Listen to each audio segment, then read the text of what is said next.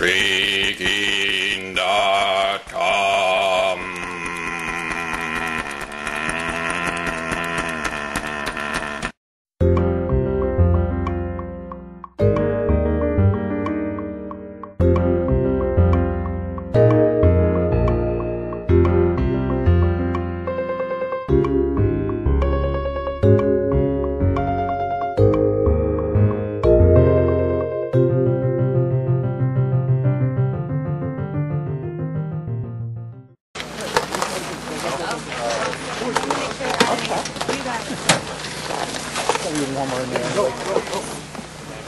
So his press person is letting people back in, but I'm not clear on whether she's letting the press in yet.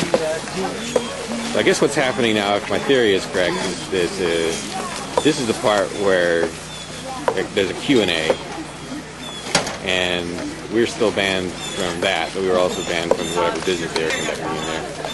There's Dr. Paul present. There's just no room for the Pack it in. Any idea how much longer? He's answered about three questions. He'll probably answer a few more, and then y'all should be let back in. What's going to happen once we get back in? If he's talking and then answering It's questions? probably just going to be more of him taking pictures. It might be good B-roll, but um, and you could get up close and listen to the conversations, and even speak with some of the members of the club if you'd like. But press will stop today that are advertised as open press? Are we going to be allowed in? those will be yes, Okay. because again, this is a private club. Yeah, no, that I just want to make sure. So it was, he was more concerned about his members being in the room than you guys. And I'm sorry about that. Because the club, club invited the media to speak. They did. They asked us to come. The club itself? They asked us to Yeah. Club should have put some burn barrels for warmth and know. opened the doors. They should have. They brought us some ice right behind you. Oh, good. Hey, that's Or someone warm. brought us That's some. warm.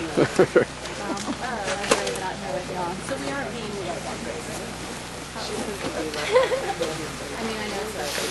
When I got oh, so You were like, I'm really excited. What do you say? Say what? No. you don't have to talk to me. Oh, okay. So I noticed there are at least three politicians in there. The politicians are allowed to stay. The media, who don't work for the government, are not allowed to stay. Of course, technically in New Hampshire, a lot of politicians don't really work for the government either because they are uh, you know, state reps who only get paid 100 bucks a year. Are you with this Dr. Paul's campaign too? Uh, you were the last one, right? I was. I forgot your name. Is it? is Bob Goodman. Oh, okay, yeah. Question for you: Do you have confidence that, that Dr. Paul uh, will uh, actually cut the government? Reagan and, and Dr. Paul sound a lot alike, but Reagan threw the government 60 percent. You ever hear the story about, you know, I'm not even staff, okay, I'm a volunteer, but even at that, you know, you ever hear the old saying that, you know, one, you don't want to be on camera, and two, you know, you've got nothing to say? Well, you can That's say me. that That's if you me. want. but you're obviously confident enough to still be on the team Oh, in some form or I fashion. think he's a great guy. All right, Mr. Goodman, thanks for your New time. Hampshire voter. Speaking as a New Hampshire voter, Speaking as a New Hampshire voter, what? that's my feeling. That's your what? He's a great guy. Oh, I see. Okay. All right. Do you have any concerns about the fact the press was kicked out of this? Much of it?